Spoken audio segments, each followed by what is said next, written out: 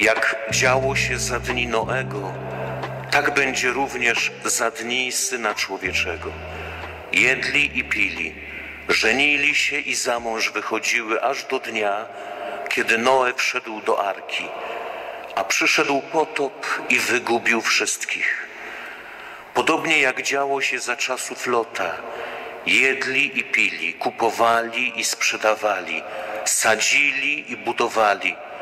Lecz w dniu, kiedy Lot wyszedł z Sodomy, spadł z nieba deszcz ognia i siarki i wygubił wszystkich.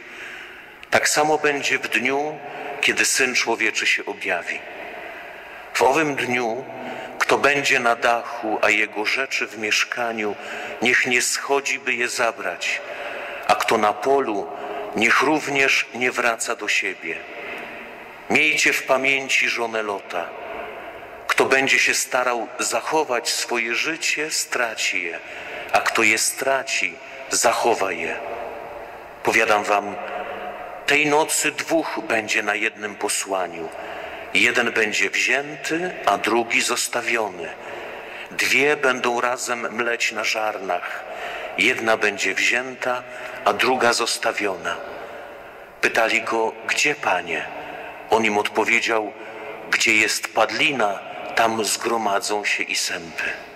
Dzisiejsza liturgia słowa zaczyna się tak trochę nie na dzisiejsze czasy, tak trochę nieładnie, prawda? Bo Księga Mądrości mówi tak: Głupi ci, którzy nie poznali Boga. Dzisiaj już tak raczej nie wolno mówić, jak można mówić o drugim człowieku, że głupi. I słowo jest poważne. Głupi są ci, którzy nie poznali Boga, patrząc się na świat, który mają przed oczyma.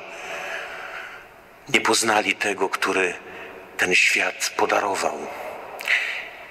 Przypomina mi się taka scena z jednego z filmów, jak wobec właśnie człowieka, który mówi, że, że Boga nie ma, zostaje zadane pytanie, powiedz, jakiego koloru jest to jabłko? Mówi czerwone.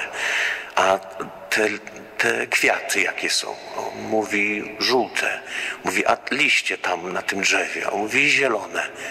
Mówi, a powiedz mi, kto to pokolorował?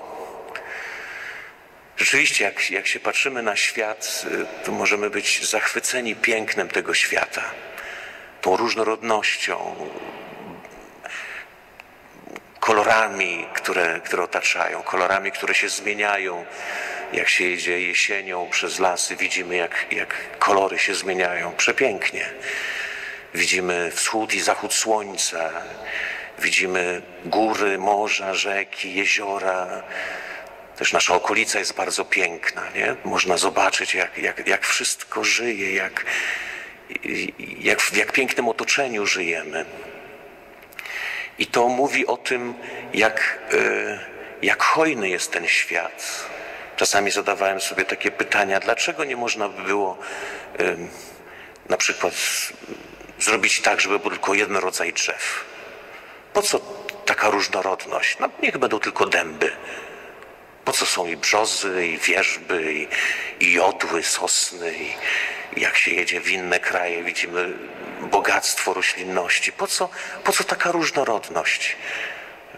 Pytanie jest jedno, że ta, ta różnorodność, ta hojność natury pokazuje i objawia hojność Boga względem nas. Pokazuje miłość Boga do nas. Że, że Bóg nie jest skąpy względem nas, że jest hojny, że chce, umieścił nas w świecie, który jest przepiękny. Nie jesteśmy nawet w stanie wszystkiego skonsumować. Tak jakby nas postawił przy stole i na, na tym stole postawił wszystkie najlepsze potrawy i nasze oczy patrzą i mówimy, oczy by jadły, ale nie, nie, nie da rady, prawda? Nie da rady wszystkiego skonsumować i, i człowiek ma na wszystko ochotę, ale nie jest w stanie tego zjeść. I patrzy się na ten świat i, i mówi, no przepiękne, nie jestem w stanie pojechać, nie wiem, może do Ameryki Południowej, do Chin, czy, czy gdzieś na Antarktykę. Oglądamy zdjęcia, filmy i widzimy, jak, jak przepiękny jest ten świat. Wszędzie byśmy chętnie pojechali i zobaczyli. I po co to wszystko, skoro tego nie jesteśmy w stanie skonsumować? Dlatego, że Bóg jest hojny, że Bóg daje więcej niż jesteśmy w stanie przyjąć. My mówimy, jestem jak e, ktoś jest zakochany w drugiej osobie, mówimy, że nieba bym ci przychylił, prawda?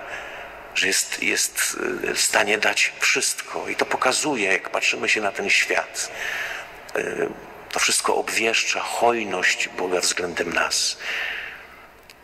I głupi są ci, którzy nie są w stanie zrozumieć, kim jest Bóg, że jest Ojcem dobrym, który stworzył piękny świat dla nas i nas umieścił. I pytanie jest takie, czy, czy to tylko jest pytanie do tych, którzy nie są w stanie poznać, że istnieje Bóg, że jest Bóg, czy to czasem także nie jest prawda o nas, nie? Że głupi jesteśmy, nie widząc tego, co Bóg czyni dla nas świata, który nam podarował, małżeństwa, które podarował, dzieci, które podarował, tego miejsca, w którym żyjemy, że wszystko jest Jego darem. Czy czasem nasza głupota nie polega na tym, że sobie przywłaszczamy to wszystko, że chcemy być właścicielami tego świata, małżeństwa, rodziny, domu, tego miejsca, w którym mieszkamy, że e, chcemy być sami stwórcami tego wszystkiego. Nie chcemy przeżywać naszego życia jako daru od Boga. I kiedy rzeczywiście to się dzieje, to słyszymy dzisiaj Chrystusa, który upomina. Tak samo działo się za dni Lota. Jedli, pili, kupowali, sprzedawali, sadzili, budowali. Kiedy człowiek przywłaszcza sobie dar, nie chce przeżywać, nie chce przeżywać swojego życia jako daru, nie chce przeżywać swojej pracy jako daru, tylko myśli sobie, ja wszystko zrobię, ja będę stwórcą, ja będę kreował rzeczywistość, to rzeczywiście spada deszcz siarki i ognia. I to widzimy w tym globalnym, w tych zmianach klimatycznych, w tym, co się dzieje, ale to się dzieje także w tym naszym mikrokosmosie, w naszym życiu, w naszych małżeństwach, kiedy my próbujemy to wziąć w swoje ręce, rzeczywiście spada deszcz siarki i ognia. Przychodzi nienawiść, nieporozumienia. Człowiek pracuje, pracuje, pracuje, mówi: y, Żyły sobie wypruwam dla ciebie. A ta druga osoba mówi: Ale ja nie chcę, żebyś sobie żył, wypruwał dla mnie. Ja chcę, żebyś był dla mnie. Potrzebuję Twojej bliskości, tego, żebyś usiadł ze mną do stołu i porozmawiał. Nie? Nieprawdaż tak? No prawda. Kiedy człowiek nie przeżywa tego jako daru, zaczyna tworzyć, zaczyna niszczyć wszystko. Staje się uzurpatorem, dyktatorem. Pomyślcie o tych wszystkich sytuacjach w małżeństwie, kiedy nie traktujemy tego jako czegoś, co jest nam podarowane, tylko jako naszą własność, do, którego, do której mamy prawo. I to się dotyczy małżeństwa, dotyczy się kapłaństwa. Jeżeli tak go przeżywam, naszego życia konsekrowanego jako sióstr, braci, jeżeli to nie jest dar, jeżeli to jest moja własność, niszczę wszystko. I wszystkich, którzy razem ze mną żyją, są wokół mnie. Dlatego to słowo, które dzisiaj otwierało, głupi z natury są wszyscy ludzie, którzy nie poznali Boga, może się odnosić i do nas. Psalm nawet mówi, a głupi myśli, że nie ma Boga. Bo rzeczywiście głupi jest człowiek, który myśli, że nie ma Boga i że On jest Bogiem, że od Niego zależy świat, od Niego zależy małżeństwo, od Niego zależy wychowanie dzieci. On, On, On, On. I ja odmieniane na, przez wszystkie przypadki. myślę, że to jest taka jedna linia, która jest, ale jest jeszcze druga, druga linia, która, która tutaj przychodzi, porusza mnie ten psalm, bo modliliśmy się psalmem Niebiosa głoszą chwałę Boga, dzień opowiada dniowi, noc nocy wiadomość przekazuje. Nie wiem, czy jak słuchacie tego słowa, coś, to słowo coś was wzbudza. Jest takie słowo Chrystusa, które odwołuje się do tego. Pamiętacie? Kiedy mówi o tym, o miłości, żeby kochać swoich nieprzyjaciół, żeby być jak Bóg, być synami Boga, bo mówi co? Nie? Że, że Pan, bo Pan Bóg sprawia, Ojciec sprawia, który stworzył świat, który jest hojny, który nam podarował rzeczy, które nie jesteśmy w stanie skonsumować, dał więcej i daje każdego dnia więcej. Sprawia, że deszcz pada na sprawiedliwych i niesprawiedliwych, prawda? Dzień opowiada dniowi. Codziennie to się dzieje. Mówi, że słońce wschodzi nad dobrymi i nad złymi. Bóg nie sprawia, że źli mają tylko noc, pada deszcz, jest zimno jak w naszym kościele i to tylko dla złych jest. Jak się nawrócicie, to wam włączymy ogrzewanie. Bo Bóg nie jest taki. Bóg jest dobry i Bóg dla wszystkich, wszystkim czyni dobrze. I mówi, jeżeli chcemy być, to słowo mówi tak. Głupi mówi, że nie ma Boga i zaczyna postępować sam staje się Bogiem i staje się dyktatorem, uzurpatorem.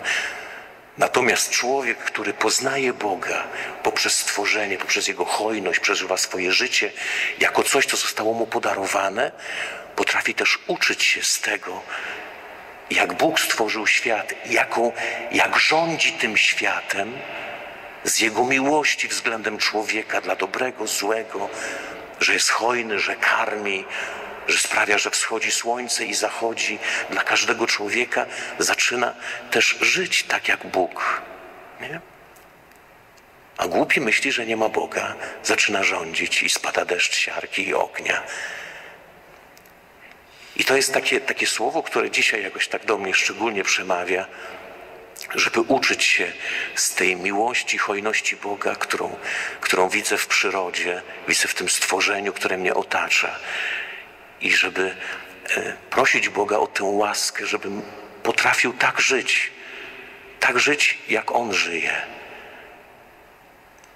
I nawet jeżeli sytuacja jest bardzo trudna, to dzisiaj w tej Ewangelii przychodzi też taka dobra nowina, bo nawet jeżeli moje życie dzisiaj jest chaosem, że doprowadziłem do tego, próbując wszystko trzymać w swoich rękach, nawet jeżeli doprowadziłem do chaosu, to E, nad tym chaosem unosi się duch Boga Wszechmogącego.